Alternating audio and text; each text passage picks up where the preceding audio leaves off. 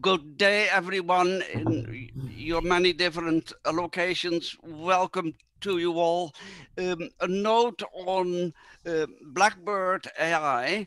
Um, it provides disinformation defense and response uh, across a broad range, national security issue, uh, corporations and so forth, and helps uh, to respond to uh, new cyber attacks and manipulation mechanisms. Um, previous work has focused on COVID-19 and the disorganization and the organization of disinformation. Um, um, Wasim Khaled and Blackbird AI uh, produced a um, manipulation index in which they they uh, traced millions of Twitter and other social media accounts worldwide and made an estimate of the degree of manipulation, which ranged from um, 30 to 40 or 60 percent, um, and they concerned questions like trust in government, reopen the economy under headings such as the cure is worse than the disease, um, media, delegitimizing media. Um, there was also um, uh, a documentary hoax on YouTube that they discussed um, on the pandemic, um, which related to anti-vax, anti-mask, anti-5G uh, and QAnon issues delegitimization of Chinese culture. And recently they have worked on um, a major uh, COVID vaccine disinformation account, which is what um, Wasim will uh, focus on in particular this afternoon. Wasim, you are doing marvelous work and we welcome you. We welcome you also as the employer of a former um, of, of a global studies alumnus Bert Duffield, who is here. Good to see you. Mark Duffield, good to see you too. Greetings to everybody. Please, a warm welcome to, to Wasim Khaled and congratulations on today's Eid. Thank you. Thank you very much, everyone, and, and great to be here to talk to you all today. Um, you know, appreciate Jan for uh, for inviting and all of the, uh, the, the kind of work we've done in the in the COVID space. Um, what I'd like to do today is just kind of start by going through uh, something I've put together just to get people uh, familiarized with the framework of how we think about disinformation and the way in which we approach these problems. So I'm going to go through a number of slides and then uh, near the end of this, um, certainly we can do a Q&A around our most recent COVID report, if we'd like, um, or anything else that comes to mind based on the ideas that we push out there. So uh, I'm going to share my screen and, and just uh, jump right in. All right. So uh, one second.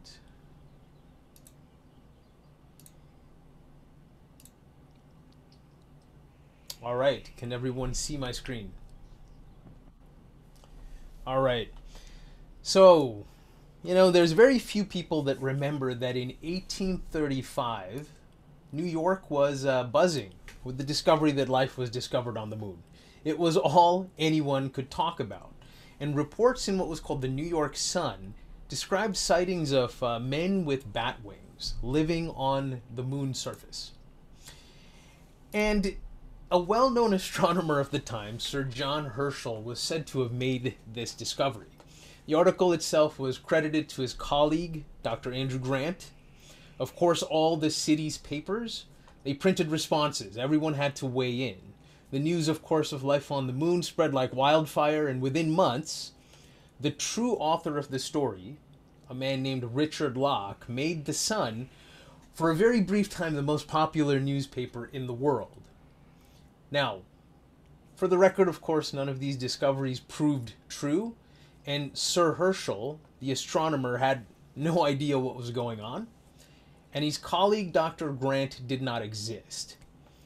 Disinformation manipulation in the media, it's not anything new.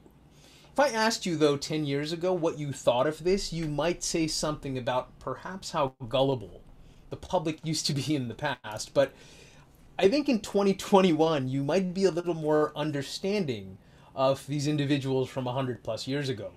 Because what we've all been experiencing online for the last several years has to really be called out and understood for what it is.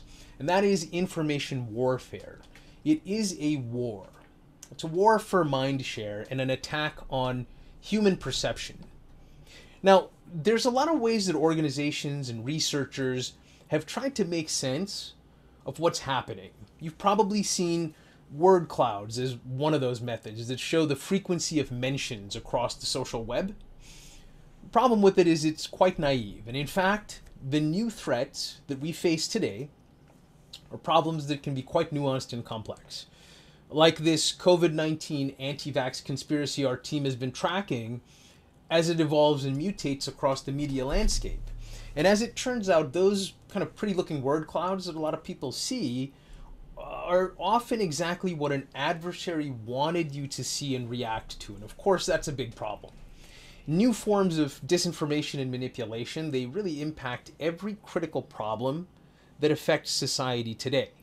And I'm sure a lot of the people in this audience can appreciate that whether it's climate change or radical racial conflict to stock market manipulation, if there's a controversy or regulation or power struggles or large sums of money at stake, there are going to be coordinated efforts to shift public perception. Now, for, for, for some time, there's been this notion that these kind of threats only mattered in politics, but it actually goes far beyond that. Uh, so we talk to organizations all the time that are often confused about why they're being pulled into such highly polarized conversations that kind of seem to come out of left field. Uh, I think there's a lot of confusion around why these things happen, and we've all read things on you know, why are these parties involved here. But this ignores the current culture of what's actually happening, people's behaviors. Uh, what I tell these organizations to get sideswiped is that it's not really about your company or your brand or your policy, but it's about the goal of the ones that are driving the narrative. Right? They want to find the best medium to attach their message to so that it flies further and faster. And the brand or the person just becomes a catalyst for spreading those messages in that manner. So, what better polarizing topics than income inequality, race, and climate change or vaccines to help spread that message? Because rage is the perfect medium. Rage makes people mash the share button without thinking. And on the other end of the spectrum, humor is another tool, which is why sometimes the methods can also be pretty hilarious by design. And, and whether it's the public financial markets being sideswiped by, you know, Reddit users, like in the GameStop and Wall Street bet saga, where, you know, online message board users decided to band up and pump a stock, which by the way ultimately led to a $19 billion loss for investors, or the crypto markets going through the roof when an Elon Musk tweet proclaims Dogecoin the hottest crypto, pumps the market cap of that to $80 billion. It's a new world in the information space when these kinds of things can even happen. And it's a space that's dominated by a few major content platforms where these kind of new behaviors can completely compromise the ability of systems or researchers and analysts to understand what's really happening under the surface. But if, but if there's one thing that I can really say that all of us should be acutely aware of, it is that if you're on the internet at all, your perception is being manipulated. Doesn't matter what your education level is or geography, disinformation is manipulating you in ways that you probably don't comprehend. And we'll talk about a few of these things today. Um, you know, most of today's methods to try to understand disinformation at all are extremely vulnerable themselves to manipulation. For us, when we talk to national security organizations or Fortune 500 organizations, we find that they cannot detect these campaigns today in any way, shape, or form.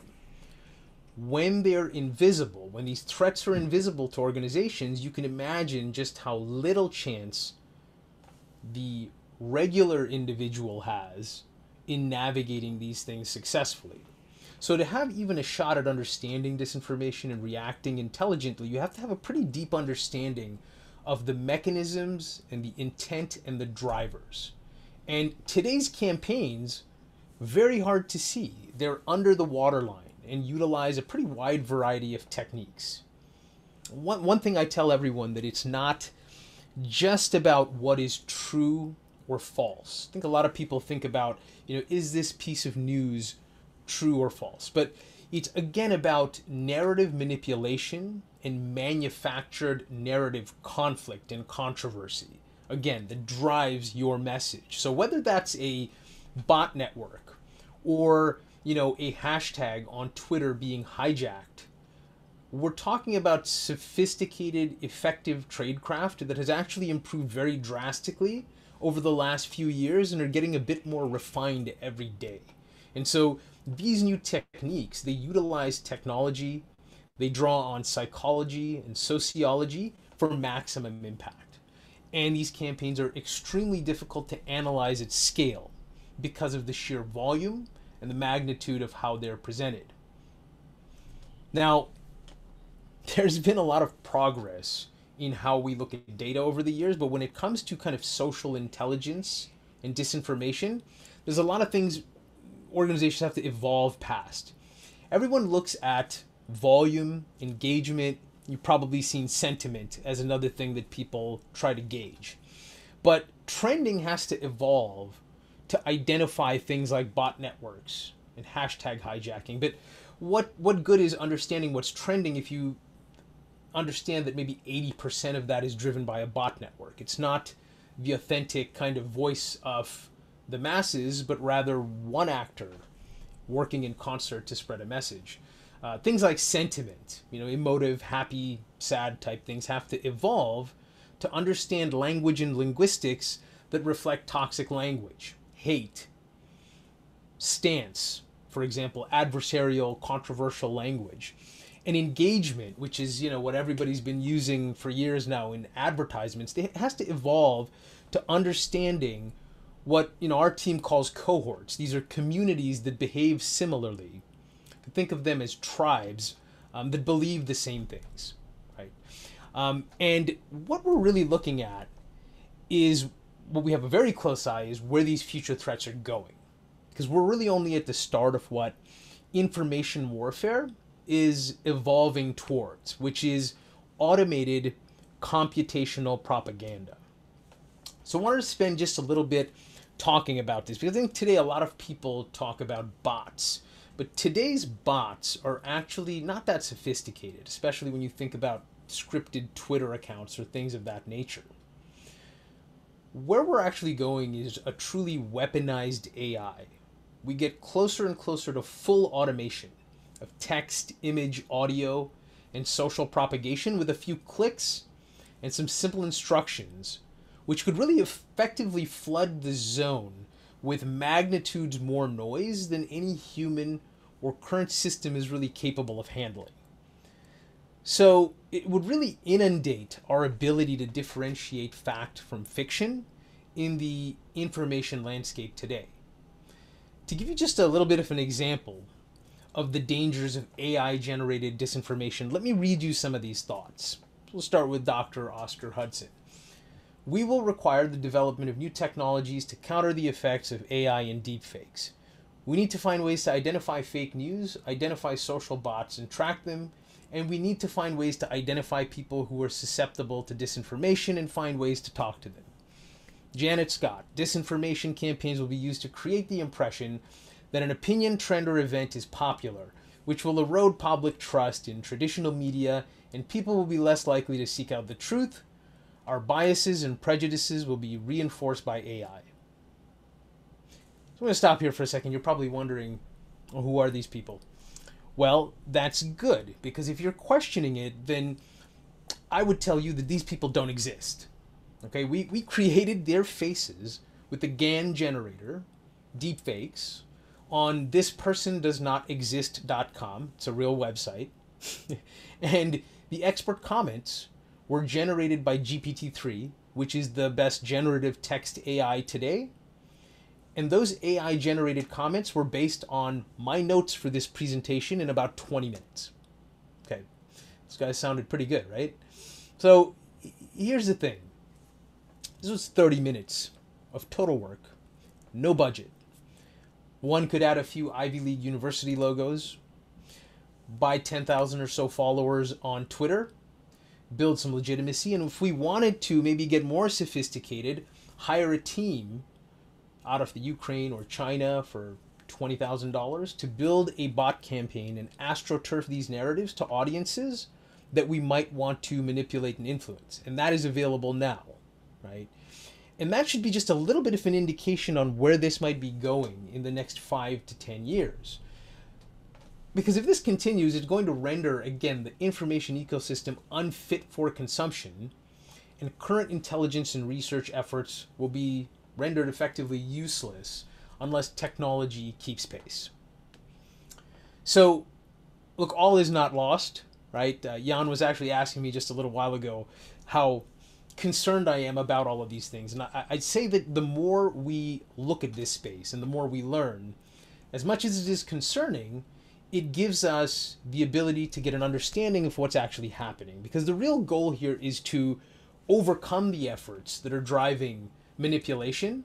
And the only way to do that is through the quantification of the driving mechanisms, right? Now, our team's research and development over the past six years, internally with the Department of Defense and other organizations, have led us to a set of quantifiable metrics. And I'd like to share some of these with you today um, to just convey that it's not all doom and gloom, right? So, um, one approach we use are uh, some unique signal fusions across four core categories that, if processed at scale across multiple platforms, can bring some order to this chaos. So, these four signals are narratives, networks, cohorts, and manipulation. I'm going to talk a little bit about those. So, if you think about narratives, they're the conversations that are relevant. Networks are relationships between users and the concepts that they share with one another. And cohorts are the affiliations that reflect like the affinities of a tribe, a group of people that are talking about the same things, interested in the same things. And manipulation, finally, that we've spent quite a bit of time on, which drives influence, which serves to amplify or dampen expression.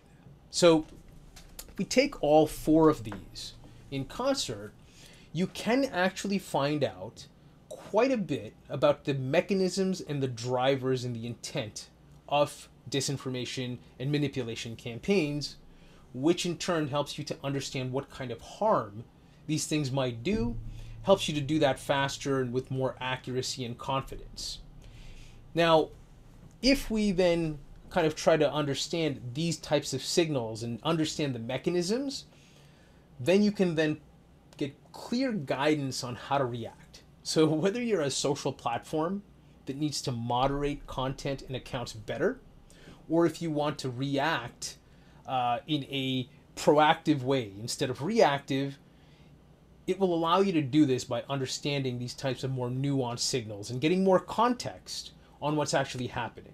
So, key narratives being said, including critical pieces of disinformation and hoaxes that might be mutating across the information space, being able to verify the drivers like influencer accounts or low level accounts.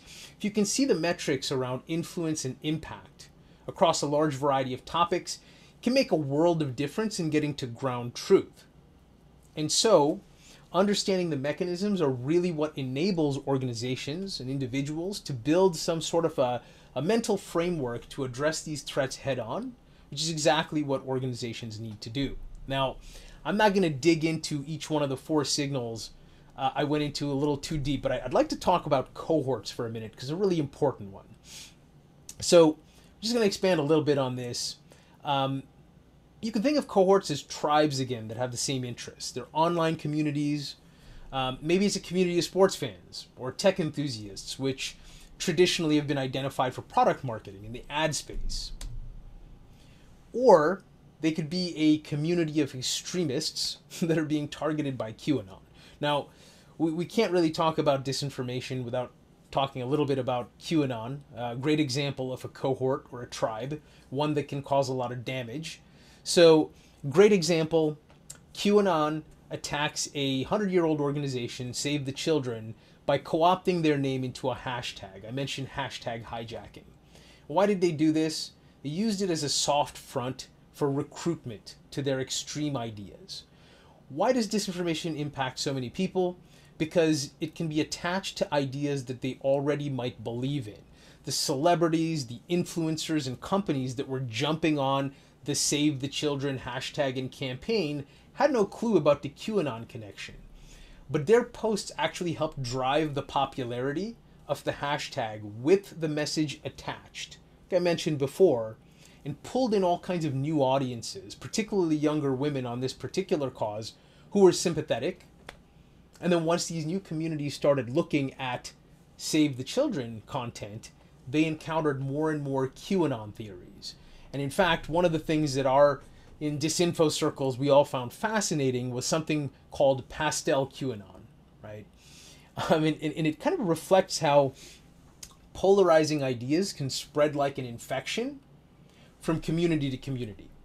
So the what what happened here was the QAnon cohort built up a soft look and feel to spread the same conspiracies that they always did, but now instead of militant message boards, they were popping up on Peloton forums, they were circulating on Instagram influencer accounts, and they were gaining traction with anti vaxxers, yoga communities, and even new mothers. These were the targeted cohorts. And what this should tell you is that these actors are strategic. They think like marketers almost, and they're very good at what they do because all of these groups started getting pulled into QAnon belief systems. And even to this day, anti vax and COVID conspiracies proliferate wildly in kind of suburban soccer mom and yoga groups on Facebook and online. So, you know, I'm kind of just uh, concluding on a few things here. I think, you know, human nature is to really always be thinking and to to make sense of our world. We're all constantly thinking about something.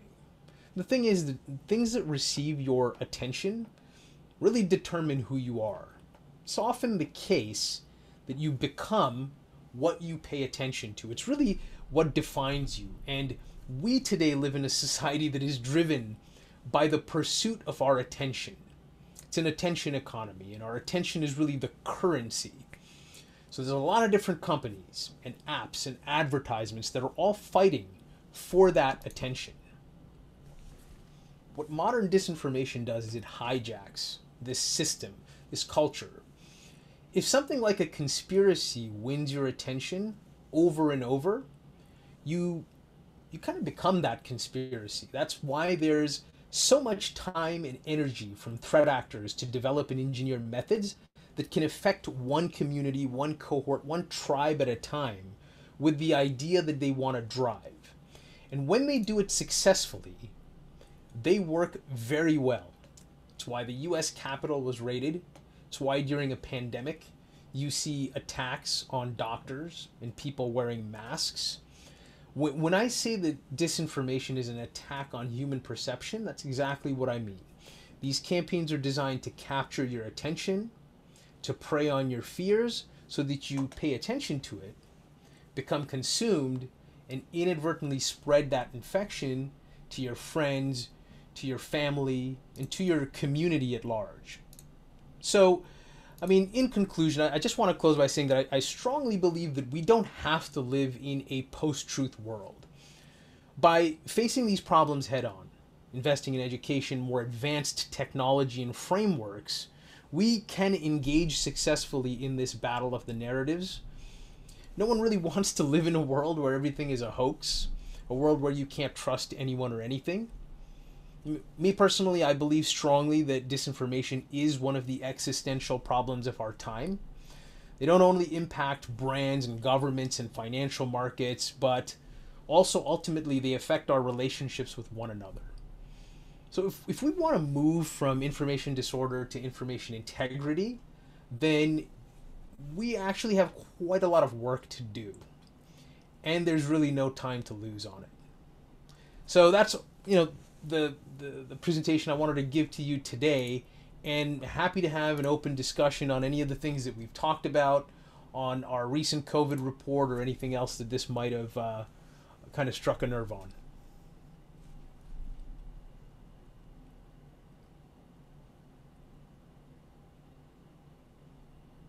Wasim, that is so insightful and so pertinent. Let me slip in a first question and then Marcus. My question, my, my first question, Wasim, unfit for consumption, are you referring to the internet or to social media? And the defense techniques to generate information integrity are can, can they be available to individuals like ourselves listening listening to you? Or does it require considerable technical savvy and investment? That's a great question. So when i when i talk about the the ecosystem i'm talking about a combination of social media and news. Perhaps not the entire internet but in some ways social media and news have taken over the internet um, and, and they kind of reach into every corner of it so the information ecosystem is at threat of having any value if it can be saturated with so much noise that you can't differentiate anything of value from it, right? Which, you know, usually results in people just shutting off and not paying attention to it at all, which I'm sure many of you have heard people say, "Hey, I'm I don't watch the news at all anymore." Well, that's that's one of the goals too, because an uninformed person is easier to control, right? Um, so so that's a success in itself. Um, when it comes to tools for individuals, um, you know, our organization, for example, today doesn't provide um, individual tools because there's more work to be done um, before that can be foolproof. Because if I provided you with something today and it was wrong once or twice, you would discount it forever, right? And so the, the technology and the mechanisms need to get stronger before we can deploy them to the end user. But there's a lot of things that people can do to educate themselves to be able to understand um, the types of things that I've been talking about here. And we have a lot of these things on our website, resources that um, you know anyone's free to take a look at um, to, to understand some of the, the tells and the things you should look for. Um, but down the road, we expect to have um, tools that individuals can use to also assess the content that they're looking at online. Wasim, thanks. Marcus, please. Thank you, Wasim. This is truly fascinating. Um, I very much enjoyed your talk. I'm now trying to spin um, those dynamics a little bit further into the future because I wonder how is that, you know, um, getting into some sort of a, the, the next stage or the next play. Um, I mean, on one hand, probably it's a bit of a cat and mouse game between researchers and those who invent the next generation of the bots ever more sophisticated um, and you you know trying to figure it all out how it is mm-hmm. being done how to measure it mm-hmm. and maybe the other side is trying to hide their tracks to make it you know less detectable but how do you view it who has then more um, of a power source um, because i mean it i understand from what you say um, it is somewhat affordable, you know, to uh, create all those bots and so on. So I would think in years to come, any, you know, actor, political party, somebody who has a, you know, something to push an agenda, um, would want to use those tools. And we would see more and more actors and counter actors and maybe a kind of information warfare, bots against the bots. Um, but more in control are those who control the platforms themselves, um, the owners of Twitter, the owners of Facebook. So, how do you see that? Couldn't they, you know, um, actually really tweak it more? Um, crack down on those, let's say, bot owners, bot directors they dislike, but maybe allow to thrive um, the wing that they actually like to see succeed mm-hmm. or even themselves, you know, mounting a political campaign. But yet more power, then um, the those who are in control of the platform would be, of course, the political regulators who could simply um, shut down a platform, at least within, um, you know, a national firewall, a national um, legislative um, order. How do you see um, those dynamics playing out? Yeah, these are things that we think about quite a bit. Um, you had a couple of pieces to that. I think one was, you know, bot-like and future of potential computational propaganda, um, the platform's ability to moderate, um, and why maybe they're not doing as good a job as they could, and uh, and then regulation around that. So those are all great questions. I would say. Um, we think about where this is going a lot in terms of the technology component. So you're exactly right in that this is a escalation of uh, weaponization of information, right? Um, and it is a cat and mouse thing. It is very much like cybersecurity, black ops, white ops type um, type wargaming, right? Um, and so that will continue to evolve. The cost for sophisticated campaigns, though, will also increase because the detection methods are going to get better and better on the lower end of the spectrum. So they just won't be as useful. And in fact, a lot of the uh, things that we saw happen in 2016, platforms are already pretty good at filtering it out. Like a lot of the ad revenue generating blogs, you don't really see those as much um, on social platforms anyway, because they've gotten better at screening it out. But what we're really concerned about, some of the things I mentioned, is fully AI generated disinformation campaigns if anyone has looked at what you can do with OpenGPT3 and be able to kind of generate um, content and even entire websites, those are the kind of things you have to be very concerned about. And you'll need better and better tools to be able to detect fully AI generated content. Whereas today we're really aimed at looking at human generated content that has had you know light technical work to build the bot networks. So um, it will be a weapons escalation um, for sure in the near future, right?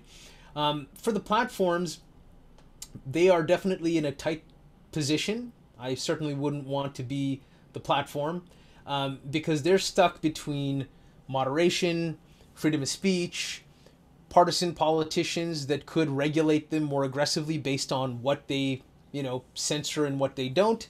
And so they're constantly turning the dials back and forth based on which way the wind is blowing that week, right? And that is why you see such an irregular uh, set of policies being applied to the decisions that they make because there is no playbook. They're kind of making it up as they go along because they don't really have a choice. Um, they have not been the best stewards of our information or privacy by any means, but they also didn't expect for all this to happen, right? What they built was a very sophisticated ad targeting system that was hijacked in a way that they weren't really expecting. And so they're playing catch up. And in fact, the whole white ops defense side is playing catch up because no one really knows how long they've been doing this, right? It's just become a thing now, but this could have been going on since the early days of social media by people who are savvy to the methods of the, the, the game, right? Um, and, and finally, on the on the regulation side, they're playing it by ear too, right? Um, they don't want to censor the public, um, and so they've got it's going to be a back and forth between the platforms and the the governments that regulate them. I guess the last thing to say though is, even if one platform figures it out or makes it a little better, problem is you have to have a really kind of holistic view on the entire ecosystem so if something starts in a fringe group, makes its way onto a more mainstream social platform like a Reddit and then onto a Twitter, that's when it then usually jumps onto a mainstream media source like your nightly news. More people see it, they start talking about it on social media, and it kind of fuels that fire again. So you'd need a, a wider look than even what one social platform could fix because if they do fix it, they're certainly not going to make it available to other organizations, and it really wouldn't even make sense outside of their own platform. So I hope that answers uh, some of your key areas there. Super. I see a question from Trenankur, and then I have another one. I have a question, maybe Brad later. Trenankur, please. Hi, can you hear me? Yes. Okay. Thank you for the talk. It was really great. I had actually a couple of questions. One question is that apart from looking at disinformation campaigns and blocking them, is it also a time for uh, new models of literacy and new models of general intellect, uh, which may prevent, you know, a technology, I mean, technological solution is important to disinformation campaigns, but is it also time for new models of literacy and new models of general intellect? That's one question. The other question is that is it also connected to let's say th- these kinds of conspiracy theories are always connected to questions of deep state or big capital?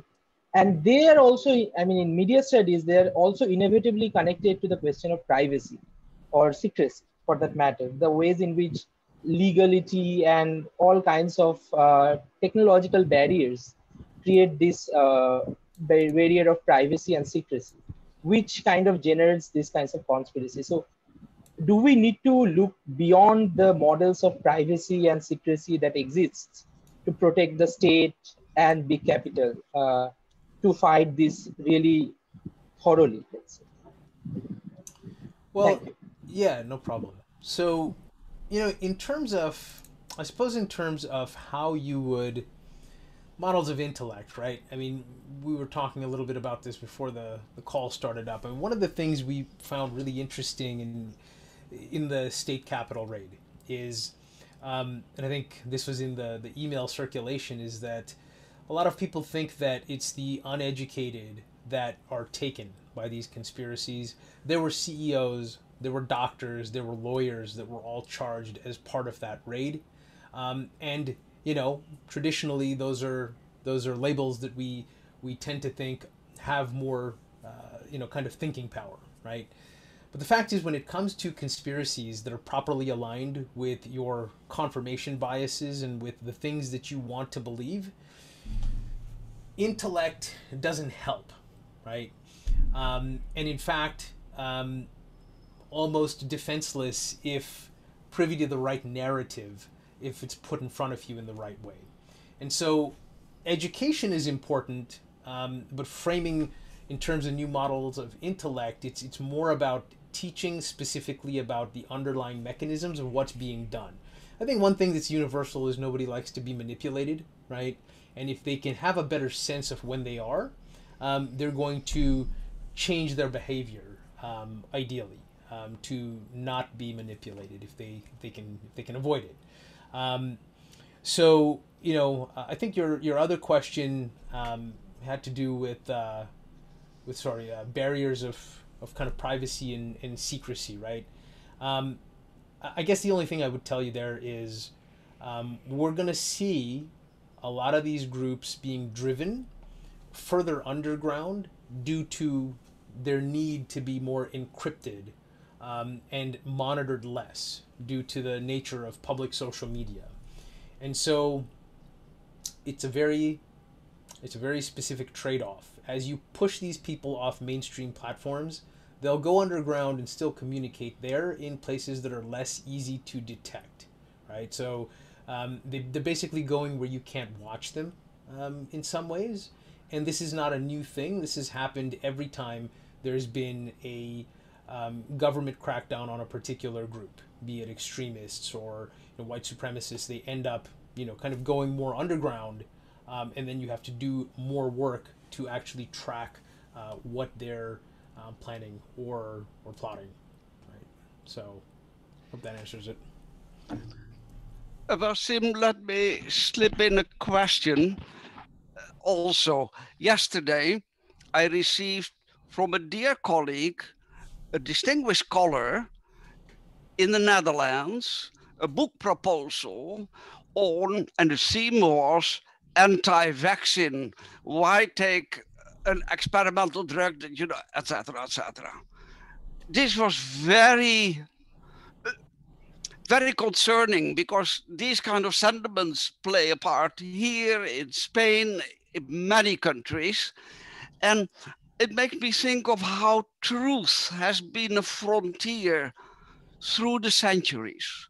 In ancient Greece, the sophists were accused of manipulating truth can we talk about this in terms of, let's call it progress? Now we have the AI ecosystem and frontier that we are talking about. And if this then, if this, these forms of manipulation by comparison to the sophists, well, they are progress. We should also talk about the dialectics of progress in relation to this manipulation. What are our tools of emancipation? And you have already uh, neutralized some of these tools and in the chat also certificates uh, are all of that is subject to fakes and deep fakes um, then where are we? What kind of progress are we a part of? And we are not just victims we're also agents in this dialectics. Where are we on this frontier of truth? So if we want to get into kind of discourse between parties or, or, or the dialectics, I think this is something we studied a lot in the, especially our early formation years, because all of this is about discourse between usually two very adversarial groups, since polarization is the medium for which all of these types of narratives spread. Um, I think when you mention COVID in particular, um, and maybe we could use that as a, as a jump off point right?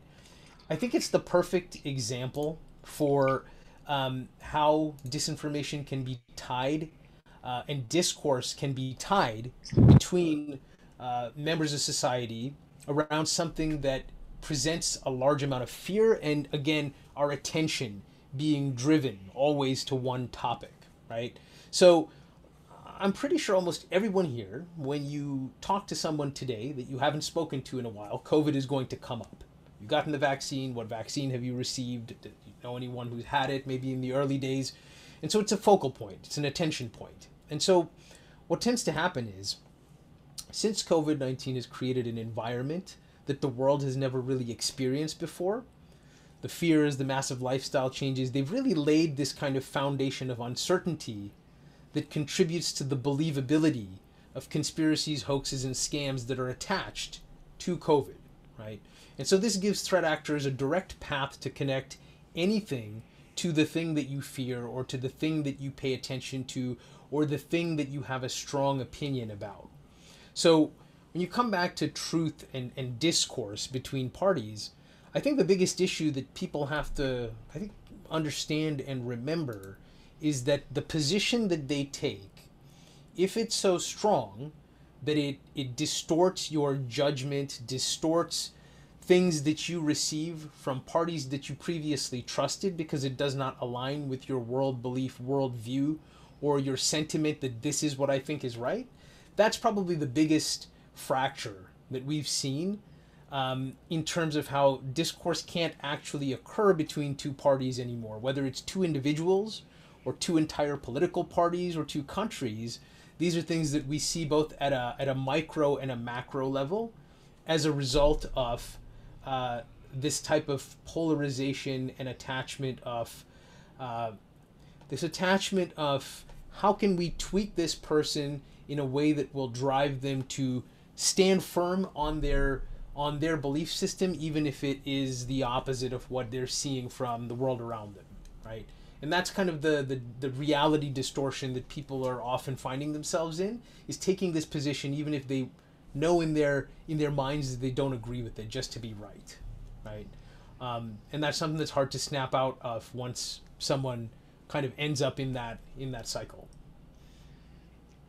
Wasim uh, and then Marcus, um, in science and social science, we use paradigms, models, and they index and organize information for us and help us overcome uncertainty and confusion. Manipulation does the same thing, indexes information, supplies certainty in a context of uncertainty. So manipulation and paradigms, our mind is constantly on the edge of certainty, uncertainty. And we are in this condition including all our higher education and knowledge industries, permanently. The only difference is the AI frontier and the new tools. Am I right to say this or am I blurring things?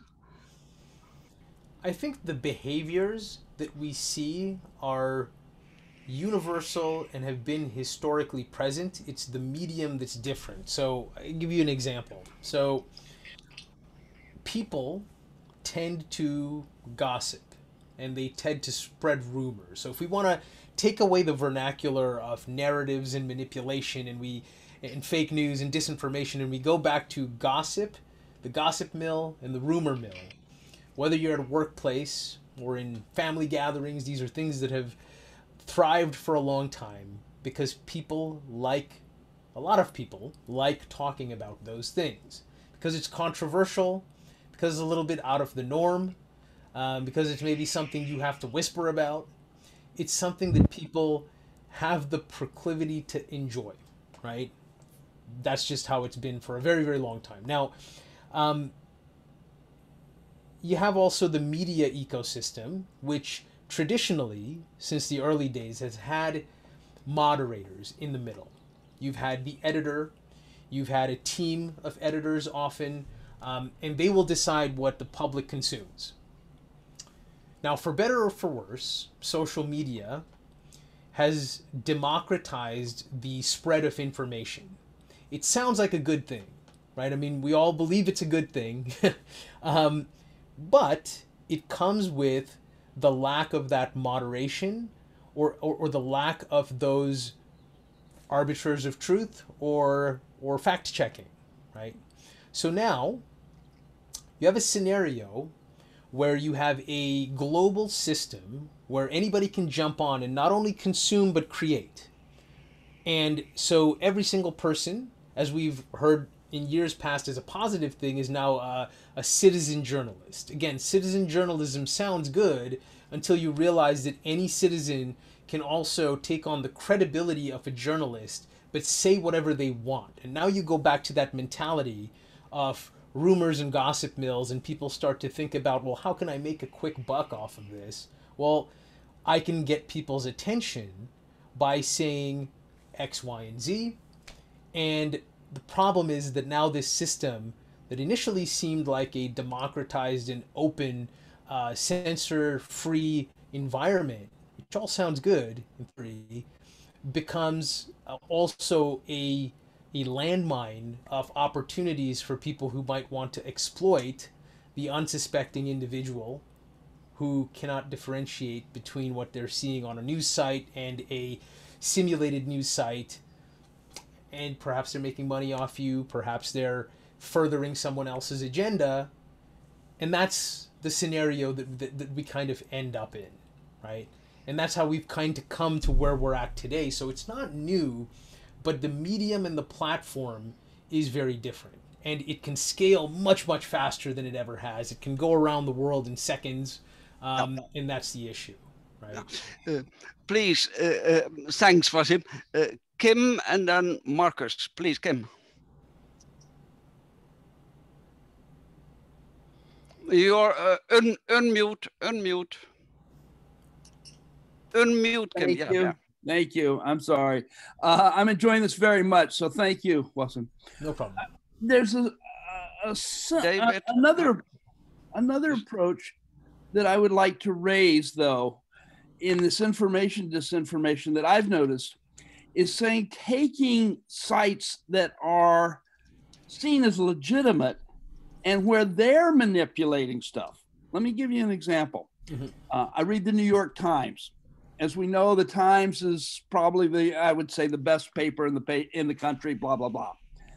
On some things, they're really really good, but also there are issues that they're totally unreliable on. You cannot trust the Times on Venezuela. You cannot trust them on the Middle East. You can't trust them on Russia. You can't trust them on the Uyghurs. So we've got a thing where a generally legitimate source, one that's valued as a truth teller, which is using that capability um, to spread rumors, misinformation, etc., around other areas that they have. I mean, part of this is is you know when thinking of the mass media, of course, we've got to recognize they have their own interests, and their interests aren't always telling the truth. How does this fit in there, or does it? well, I'm trying to think of the best. Well, look, I'll, I'll just tell you what I think about this particular topic, and this is more uh, just my opinion than anything else. The New York Times is a business, and a business model cannot include both unfettered, honest journalism and unfettered profit. The two philosophies are diametrically opposed. Um, you can kind of relinquish quality for quantity, and this is the basis for the popularity of misinformation or the need to avoid controversy in the case of some of those topics that you just mentioned.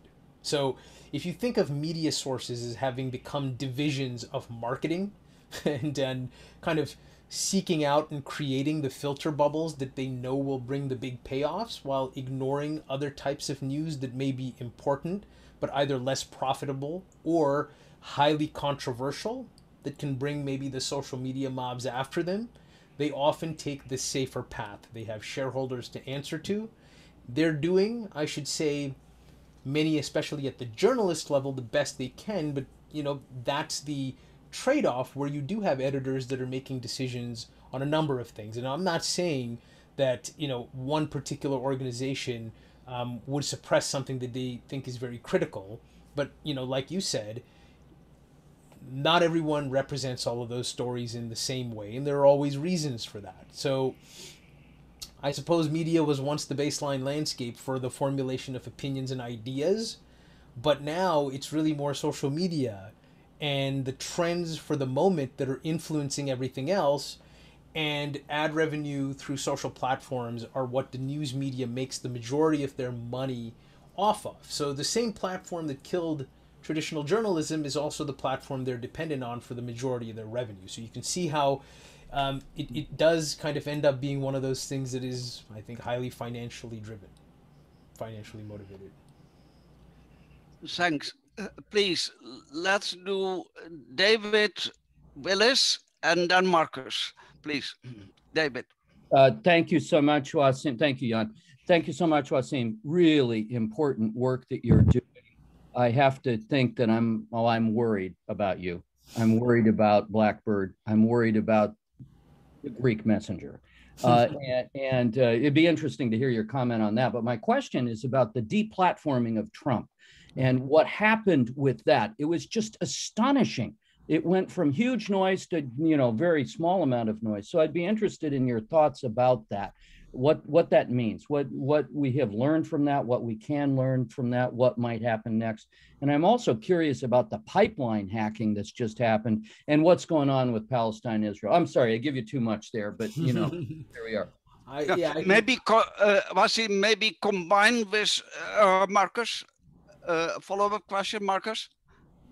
Uh, yeah, um, my question started off from when when you covered COVID, um, and my question you can probably um, label or you have a motto or a hashtag um, limits of framing. So what I'm interested in is whether um, any topic could be like framed in any kind of a way mm-hmm. or whether there are limits to it. I mean, um, Napoleon, you know, had been poking fun at the ideologues, a group of philosophers, by saying, you guys, you only have ideas, you only do the talk, but I have the real power. So there can be um, um, possibilities to frame and create a reality. Trump was very good in, you know, simply creating a different reality if the facts didn't really fit uh, with, you know, um, uh, uh what how he wanted uh, them to have. Um, the Soviet Union was very good with the Pravda. Um, but there were also limits to it. And when it comes to COVID, and maybe now in India we have a real-time experience uh, experiment where we can see whether Modi succeeds in having the great narrative that um, you know uh, not so much uh, of uh, um, deaths are happening, or whether on such a scale, the immediate experience of people is um, um, sort of superseding any kind of uh, social media fictional reality that's being uh, created there. So my question essentially is whether um, it is independent of a topic or whether uh, some types of uh, aspects, topics, matters resist more than others the ability uh, of manipulation. So that would be, um, I think, most relevant to the COVID uh, research. Thank you. Yeah, no problem. I'm going to try to uh, go back and, and try to answer both of those here a little bit here. So, um, so to answer David, uh, at least one, one aspect of, of what you had mentioned before there, um, the deep platforming, right? Just talk about deplatforming in general, right? I think it's just a testament to how powerful social media platforms have become, right? Um, you know, kind of shows you who the real emperor is because unless you have a voice, and again, going back to this notion of the fact that we live in an attention driven culture, unless you can garner attention, you don't have power today, right? And so, for the same reason that social platforms can completely cut someone off um, and make them irrelevant. It's the same thing that turned upside down gives social media itself uh, relevance and power from the positive perspective that the that any individual or group of individuals can actually make enough noise about a particular concern to be heard, right? And so this is just one of those things that are going to be a back and forth struggle um, for the companies kind of relates to the powers of regula- regulators and platforms why they don't do one thing versus the other when they take an action they'll be hated by one group they don't take actions they'll be hated by another group and that's again why i wouldn't want to be the platform right um, in terms of of, uh, of marcus's question on um, uh, india as a real-time experiment um, it's not the only country right during covid where what the the the narrative at large um, and the facts on the ground have differed with such magnitude. But I mean, in this case, I think everyone has seen that play out enough times to where the world started talking about it real fast and kept the you know kind of kept the lens on what's actually happening. I've certainly seen far more. At least I don't have an experience inside the country but from outside, the rest of the world, I think, sees very clearly what's happening there. I haven't seen anybody mobilize. I haven't seen any other country having issues where the world kind of mobilized as quickly as they did with India, which means the story is getting out and being told in the right way, right? Um, but in terms of, um, you know, the the message and how it's it's subverted. I think you were talking about how things can be taken out of context, how you can take something that is one context and, and manipulate it to be a completely different context. And that's a whole kind of field to itself. But I think one thing to say is it's really easy to take almost any piece of content, whether it's genuine or actually relevant to your concerns, and then add a different flip of context, whether it's a photo that's being misattributed um, on, as to what's happening, or an article where it says one thing, but the context of the post or the article says something else and uses it as a backup reference because they know people won't dig into it and the headline's close enough. It's just something that I think, by and large, for a lot of people, is about short attention spans, lack of time, lack of desire to dig further. If they dug just a little further, they would be able to see uh, more context into what they're actually about to share or believe right? Um, so that's partly on the platform, partly on the individual too, to be a little more careful on, on what they start to, to pay attention to. Right? Thanks. Uh, Brett, over to you. Yeah, so I guess, so it's obviously in the interest of governments to control certain narratives, to fight against certain, you know, disinformation. Um, and kind of the way I see it right now is that there's basically like three kind of models that are emerging. It seems, you know, in China, um, you're going to China is sort of following this model of censorship and sort of exerting control over specific narratives. You know, it's like a certain narrative emerges and they're just going to shut it down. Um, there's sort of the EU model, which is kind of emerging, which seems to be holding platforms accountable for what's being spread on the platform. Um, and this is sort of seems like it's more in the stages of its infancy for holding platforms accountable. Um, and then there's the U.S. model, which you know follows FCC Section 230. You know, platforms can't be held accountable for what's you know speech that's on their platform. And I know there's been talk about sort of repealing that, but it seems like that's sort of where we're at. Um, so if I'm a government and I'm interested in shutting down a certain narrative that seems to be seems to pose some sort of an existential threat, you know, kind of following the um, the the the the Capitol insurrection.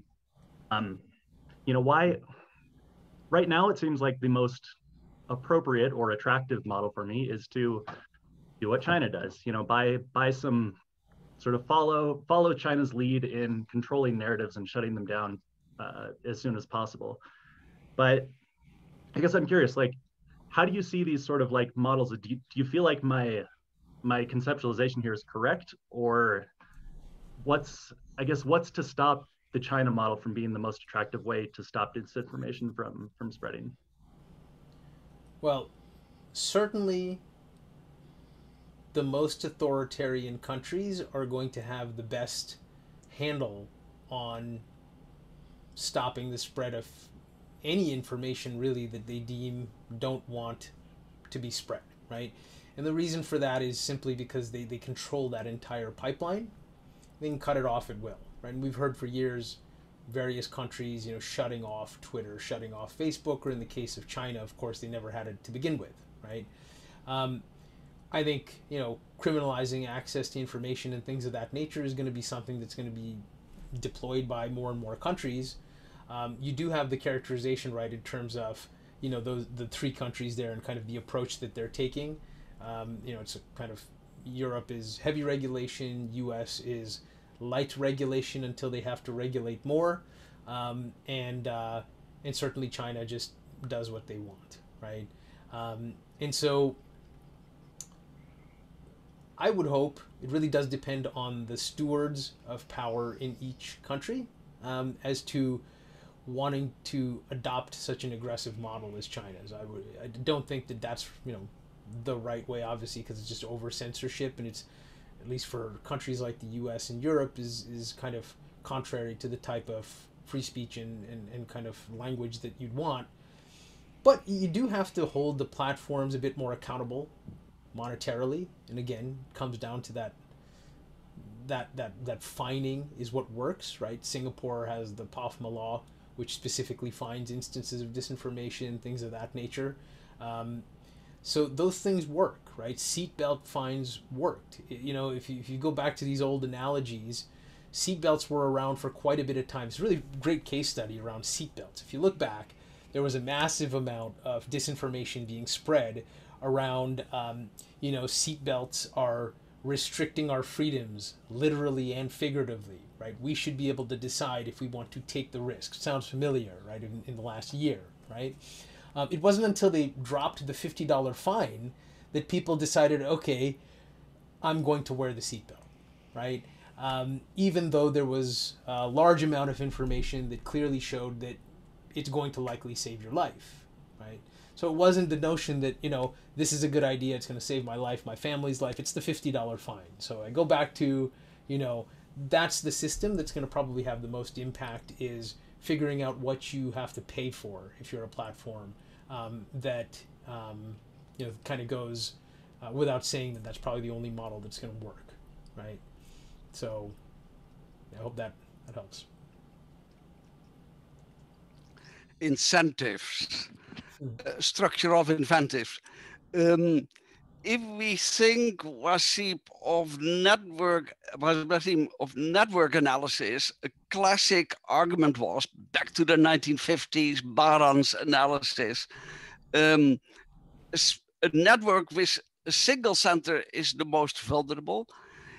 Distributed centers are uh, multicentric is less vul vulnerable to external attack and the, the distributed center is the least vulnerable. Now we have distribution in the extreme. So we need an organization of the distribution of the distribution of citizen journalists, etc., quote unquote.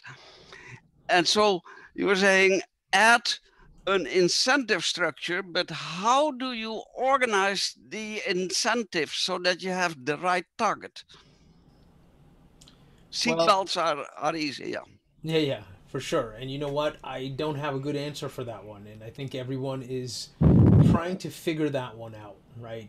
Um, if you're talking about from a perspective of actually understanding via a network perspective, right, and not the individual platforms, I think one of the things that are notable is that, as you mentioned, the the nodes on the outside of the network, um, they are actually being targeted in kind of micro clusters today, right? Because the idea is how can you infect as many of the clusters, even the less vulnerable ones, over time with the idea.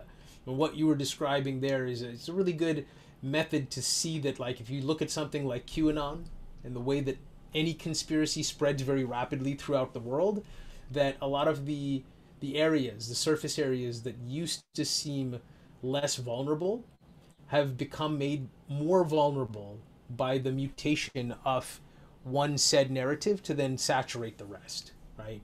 Um, now, in terms of how to best come up with that incentive model, that's going to be up for grabs. We're going to have to see how how that develops um, in the coming years, right? I, I don't have a good answer for that today. Thanks, Wasim. Uh, please, uh, friends, colleagues, floor is open.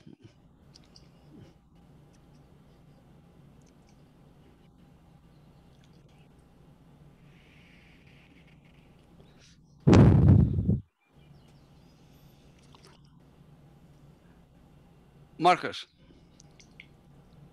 I was just reading the chat and I saw a great question by uh, Daniel Palm, uh, who brought up uh, Merkel as a very um, interesting uh, case because she doesn't really go too often out into the public. Um, a televised speech by her is a very rare kind of an event, and yet her approval ratings are so high.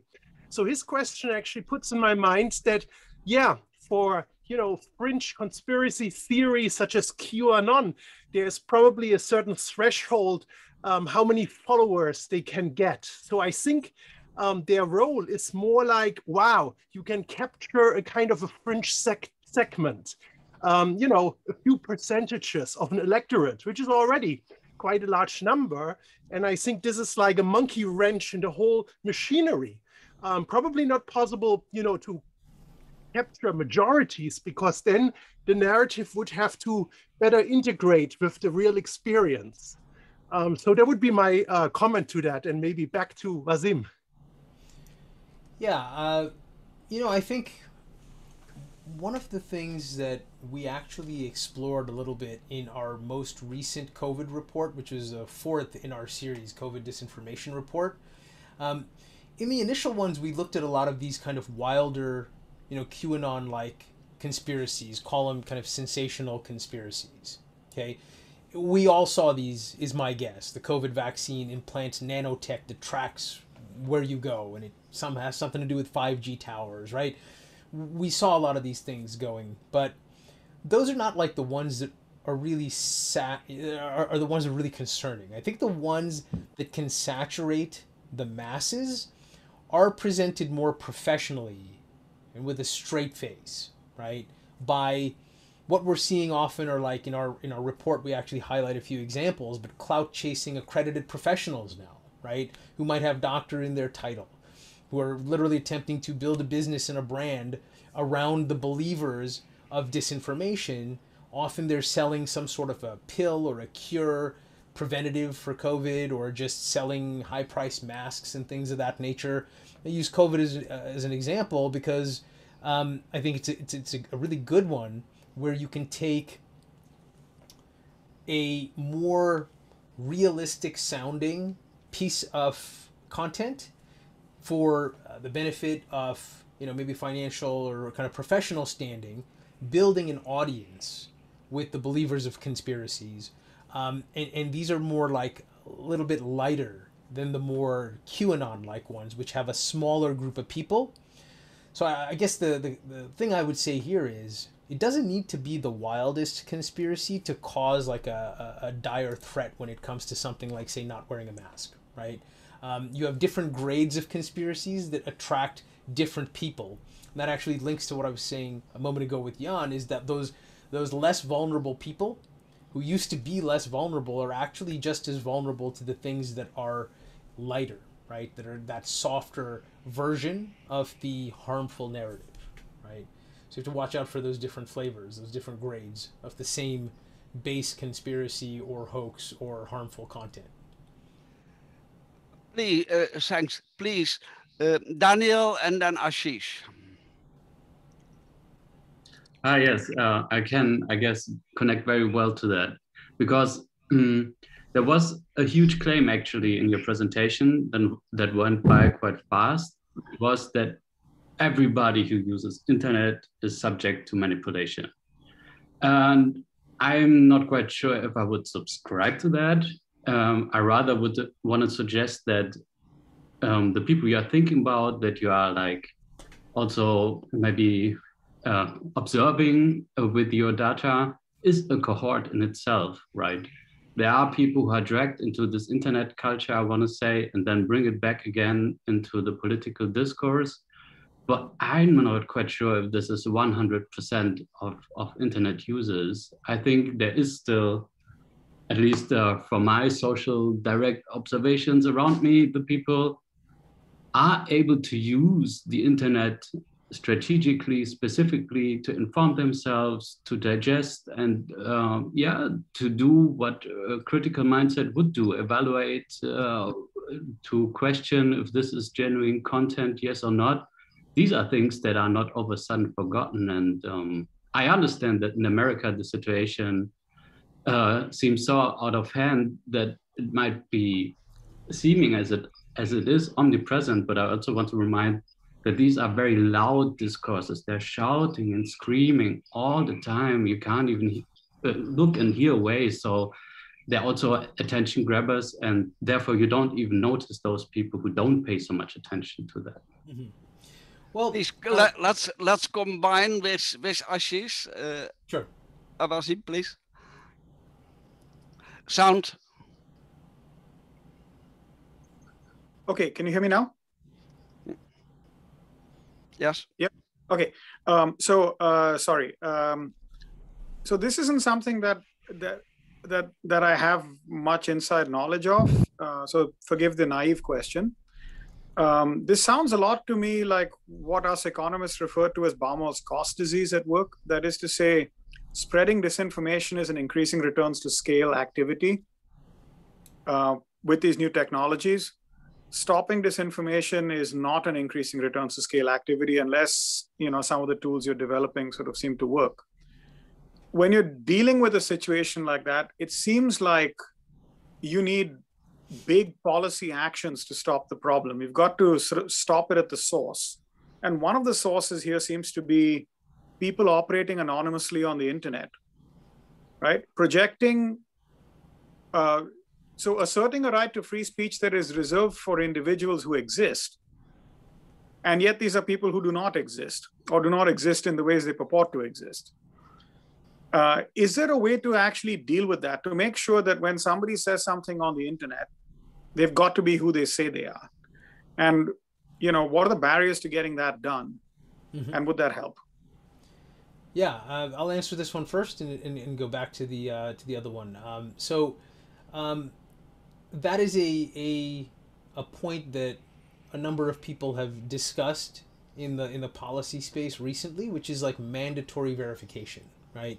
Um, and it's, I mean, certainly easier said than done on the current systems that we have today. But it's one of the ways in which, like in the future, if, if, if we say that it's going to go the way we've been describing today, once the information, bad information, goes up 100, 1,000, 10,000%, you're probably very likely going to have to ignore unless major changes in the platform, just saying everything remains the same, you're going to have to ignore everything that hasn't been verified, right? Or where a person is not verified. Now, you could choose to make that decision today as well. Like, hey, I know this person on Facebook, um, or I know that this is a news organization because I did a little work or I've heard of them before. But again, it requires work on the part of the, the end user. So if you're going to do a verification system, and there's many, many companies that have systems like this today online, but it's a lot of work, so people don't really utilize them.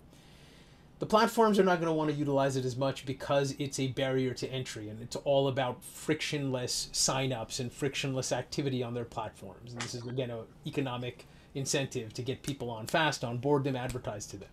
So they're not going to buy into this verified everyone unless you force them, right? But it is a good approach. Um, now, you also have a whole reasonably well heeled section of the world in the crypto space and blockchain space today. And we're talking about literally thousands of minted new billionaires and hundred millionaires who strongly believe in anonymity, right? And it's actually more about becoming further anonymous. Some people have, you know, kind of said you have this cancel culture group that is highly anti cancel culture. And one approach to that is okay, everyone has an anonymous pseudonym so that you can say whatever you want and you have true freedom of speech and your professional, uh, you know, kind of person or profile is going to be the one where you're more careful, right? So you actually have a huge clash of incentives and desires here where one group is going to want full verification for everyone. No one's on the internet saying anything unless you are who you say you are. And another group that says everyone should have the right to anonymity, right? There's not a great answer to that because even going back to major movements, anonymity is a big piece of getting things done without persecution, right? Pen names have been around for a long time as well, since uh, this is very, very early writing where people will write under a fictitious name to protect their identity, right? So that is a challenging question, an unsolved question, but it's one approach that people are talking about, right? Twitter has the verified check, but they stopped the program years ago. It's very, very slow now, right? And you have people who are verified who spread disinformation on a regular basis, right? Nothing's to say your verified account isn't going to start spreading disinformation the day after it gets verification in a new model either, right? So you have to also constantly monitor their content. So challenges uh, abound, right? So, um, you know, the other question about everyone being manipulated, everyone is subject to manipulation using the internet, meaning you are viewing things that you did not know if they were true or not. I'm not saying, uh, Daniel, that everyone fell for everything hook, line, and sinker, but if you use the internet, it's very likely you've been manipulated somewhere, and it's not just the big things. It could be that you've been tracked by uh, you know a number of organizations who are now feeding you information that you didn't want to see because they understand your behavior your psychographic behavior your browsing patterns things of that nature they're feeding you products or things that you may not have wanted to see. And those are the same mechanisms disinformation uses to feed you content that they think you're going to be more likely to buy into. Um, there are of course plenty of people who are critical thinkers and still drive value out of the internet today. But even myself, I've been fascinated at hearing about um, the number of disinformation campaigns over the years that we've kind of heard just around us in the culture that were started with a very specific motive, right? Um, and so, perfect example that, that comes to mind is that there are a large number of people that still believe that the US government uh, created the HIV virus, right? Um, and this was actually a, a Russian disinformation campaign that was spun up in the 80s. It took a full year to actually land on the nightly news coming out of Dan Rather's mouth, right? Um, today it can happen overnight, and you can test far more uh, campaigns than you ever could back then at far lower cost. So if you're on the internet, you're potentially uh, a manipulation uh, target and you've very likely seen a large number of things that you did not know were authentic or not because there's just too much information to verify. So that's kind of really what I mean by that. I think we all still have our our critical thinking skills about us, but I don't know that everyone really utilizes it all the time anymore, right? Especially online. So that's how I would speak to that. Can I slip in a question in relation to this, Wasim?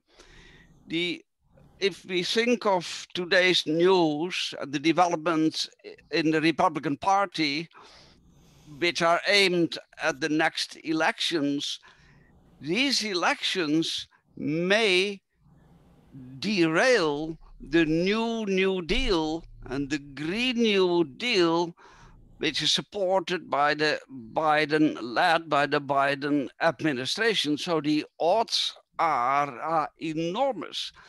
If we think of Bolsonaro in Brazil and Modi in India, and the whole Bollywood entertainment info news uh, info entertainment industry that he is related with, again, the odds are tremendous.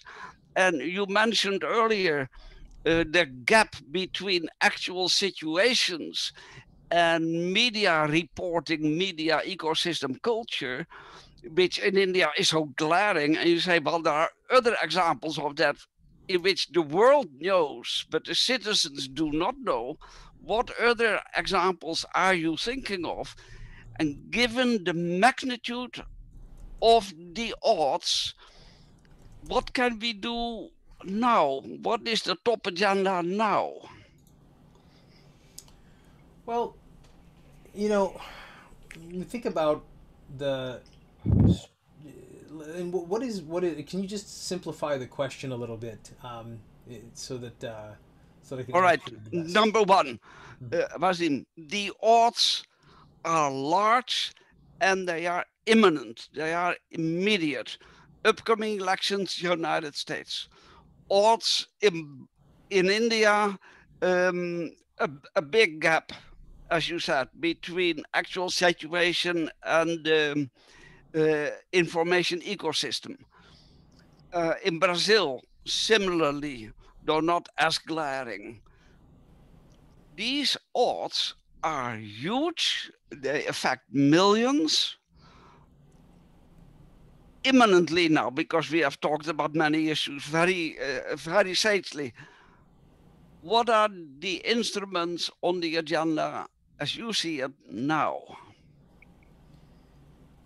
Uh, well, Tony, you, do you are talking specific to narrative manipulation um, or yes, uh, uh, actionable items. Yeah. Well, I mean, certainly it's it's going to be par for the course if one party wins over another that they tend to like to derail whatever the last one did. So I don't see, um, you know, much change there. Uh, I suppose at least here in the U.S. Um, but you know, I think one thing that we could think about is just what um, what efforts uh, countries take to, to, to, to shape their positioning in other countries, right? Um, one thing that comes to mind is, uh, you know, China owns a lot of the movie theaters in the U.S., right? And so you're not going to see villains portrayed by um, Chinese governments, right? That, that's just a it's a really interesting and shrewd move over the last 10 years where they, they own AMC. Uh, I think they own a number of other studios. Um, you know, a lot of the other countries that could have afforded that kind of thing never thought to do it.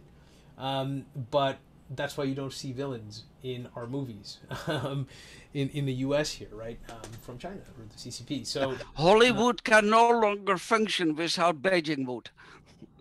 Yeah, they, they, they need the money too, right? Or they'll take the yeah. money away, right? So, um, and so it, it's going to be a lot about how the context of how all of these different groups present themselves to the world and popular opinion, I think is going to drive it because it's popular opinion that drives everything now. Um, and that's why the forces around this information ecosystem that we're looking at are are so strong and so motivated. Um, because like anything, if you control people's perceptions, you control elections, you control uh, the money flows, the financial markets, um, you know, society at large. So that is why we in particular look at manipulation because that's what's going to drive people's behavior um, and so again that's that's kind of where we focus and that's kind of more my my wheelhouse i suppose. Uh, Wasim, can you share the latest report of vaccines on anti-vaccine disinfo? Um, so so we can post it to the audience of this colloquium. That would be great. Thanks. Yeah absolutely. And i just want to call out um, on the great work that, that Bert did on this uh, on this report as well. Um, we are huge fans of Bert and her work on uh, on what we do at Blackbird. But yes, absolutely, we will we will definitely uh, push that over. Uh, uh, thanks, Wasim. Uh, folks, other question? We have a minute or so. If not, wonderful. Um, Wasim, cordial thanks to you. This is really insightful and uh, stimulates many, many reflections as well as reflections on reflections. and uh, um, so thank, thanks a lot. Uh, thanks to everybody. Uh, Bert, nice to see you. Mark, also nice to see you. Nice to see you all, folks. Thanks. Thank, thanks a lot, Wasim. All right. Thank you very much. Appreciate it. Uh, talk to everyone later. Bye bye. Okay. So, so just to just to just to add, next week, um, next week we're going to be hosting Daya Thussu, uh, who's going to be giving a talk about the the BRICS uh, de-Americanizing the internet, which should be interesting. So, thanks everybody. Thanks, Brett.